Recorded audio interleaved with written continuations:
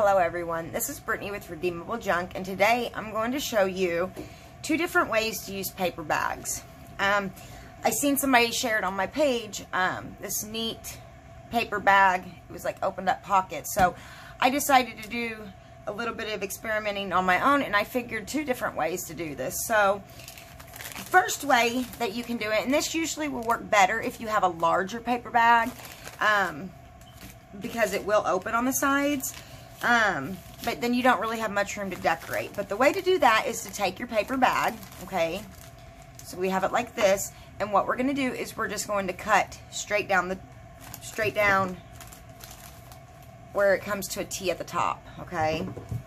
So we're just going to cut straight across.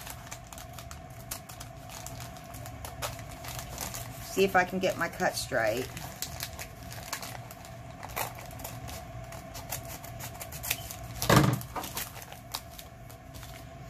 Okay, so what you have here, when you do that, let me move this out of the way, move this over here.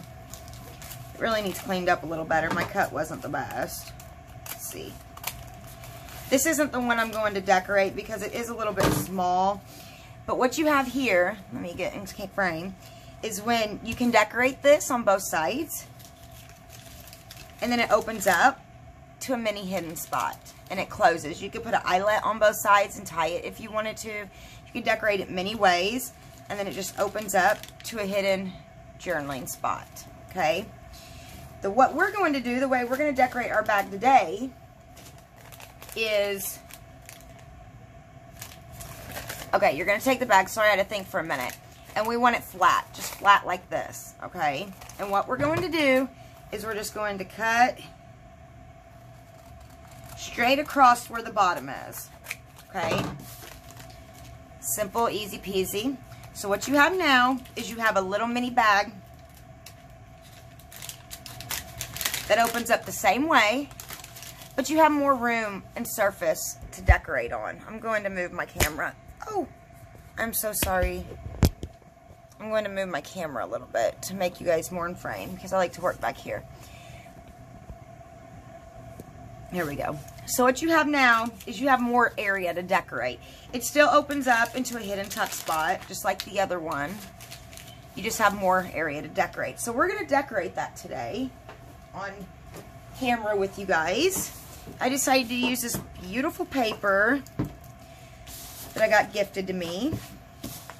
And what I'm going to do is I could measure it and go cut it and make it fit perfectly, but to be honest with you. I don't really feel like doing that, and I'm kind of in a hurry. So,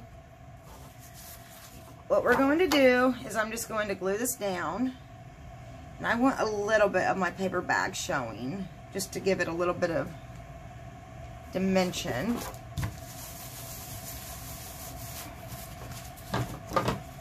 I'm just going to cut my paper out around my bag. Try not to cut your bag or you'll have holes in it. We don't want that. Okay. That was easy enough. My craft area is such a mess, guys. I would be so ashamed if you guys were here and actually seen it. I mean, it is ridiculous mess. I was going to tell you right now, too, is if you're going to use this as a tuck spot, I like to glue this down to my page. Show you.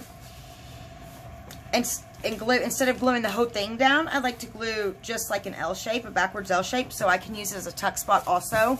And if you're going to do that, you're going to want to glue down the little areas in the back that like to pop up. See? Of the bag. See what I mean? They like to pop up. So, I would suggest go, oh, whoa, way too much glue. Whoa way, way too much glue. So I would suggest gluing those down now. So whatever you tuck back there, it doesn't get stuck or caught. Now, I'm not going to decorate... My bottle's being silly. I'm not going to decorate this a whole awful lot. But I did have a few ideas.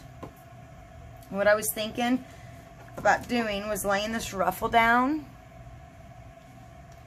And then putting this lace up on top of it. And you guys know what I did. Oh no. I was wanting to decorate my paper first so I could sew it and then glue it down. So I just took that off. Um, that's what I'm going to do real quick. You don't have to do that. You can decorate your paper while it's on the back. I don't want to do that because I want to sew my fabric together. But this is kind of the idea of what I had going on. And then putting this little button piece right there. It almost does not fit.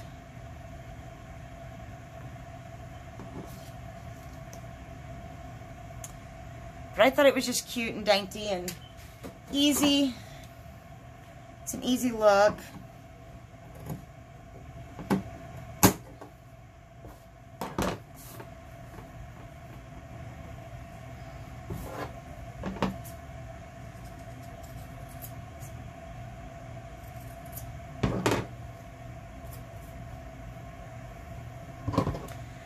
Okay, so I'm going to go ahead now and glue my fabric together.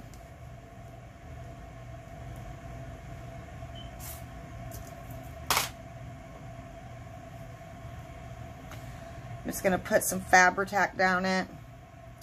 You guys can decorate yours however you want. You totally do not have to use fabric. I'm using fabric because I'm doing a, uh, a sewing junk journal. So I thought this would look cute in it.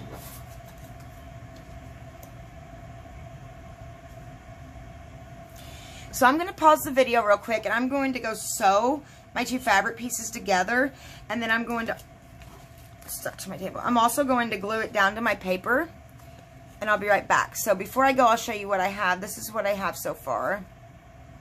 Super cute. And I'm just going to put the button right there. So I'll be right back. Okay, so this is what I have now. I need to cut all the strings off of it because I have them everywhere. That's the one thing I hate about sewing the most. Is all the strings that you gotta cut in the end. I'm not even in frame. I'm so sorry, guys.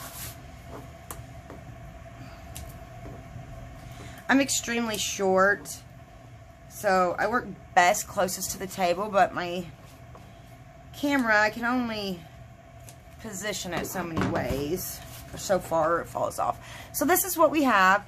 And I thought about maybe leaving that open as a cute little tuck spot on the side. I haven't really decided yet. That's an awful big tag to put there. But, um, trying to decide if I want to leave that open or not. I don't know. I just know I want to glue these down, so I'm going to glue it down. And then we'll glue it down to the bag and I'll show you what we have. It's going to be super cute. Okay. So now it's ready to be glued down to the bag.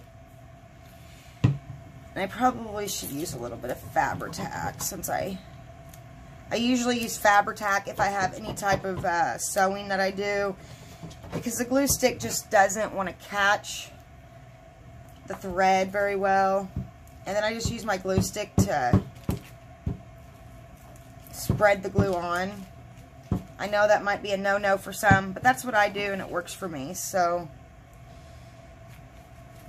let me see if I can get this right. So now,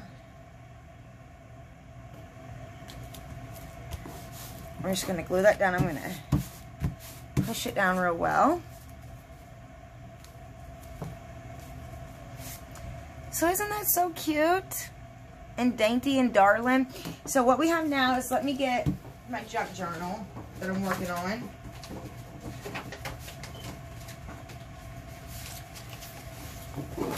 So what we have is if this was our page, or junk journal page, it would go like right there. And it would open up. You'd glue it down. It would open up into a bag and you could put some stuff down inside of it. And then it would fold back down. And you can also make it where it's a tuck spot if you just run a bead of glue along here and here. Hold it down. And this is actually the page that I'm going to put it on. Um, so I don't see why we can't just go ahead and sew it down now. I might put some lace across the side. I haven't really decided yet. Let's see.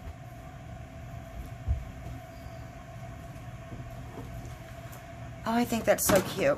So I'm going to go ahead and finish decorating this page on camera real quick since the video's not very long. You can stop watching now if you would like.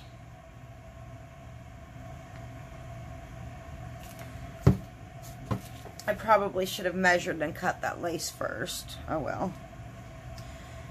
Okay.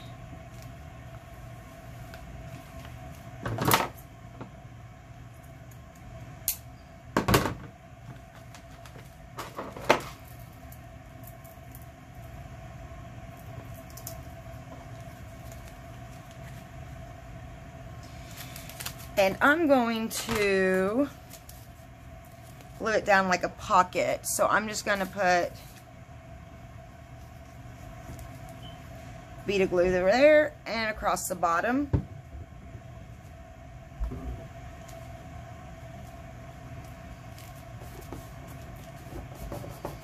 Give that a second to adhere and dry.